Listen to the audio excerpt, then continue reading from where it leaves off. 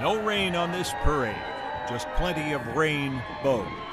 The Long Island Pride Parade and Festival, back to its roots here in Huntington after a few years away. Long Island Pride held its first parade here in Huntington back in 1991. 33 years ago, we had to go to court to win the right to march. We were denied permits from every single township, including Huntington, that we applied to.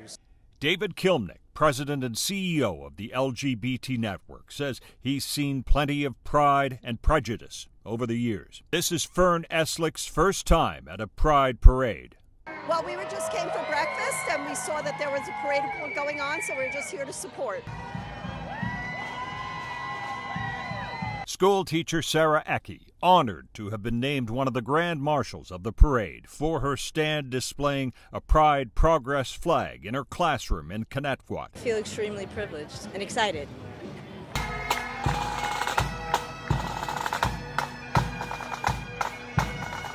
Police presence at the parade, not just protection, but support. Too often I've seen hate.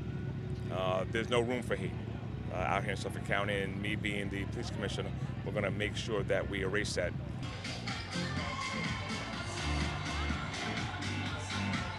Jerry Eugene stopped by to see what was going on. I work in town of Huntington, and uh, it's a great town, and I'm happy to see the town is really doing what they're doing, helping the cause. For many here, the parade is a matter of taking a stand. Good representation of like who we are, what we want to do, what who we want to be, and it's like telling the people who don't like it, like, mind your business. You know what I mean? Somewhere over the rainbows. Steve Langford for Newsday TV.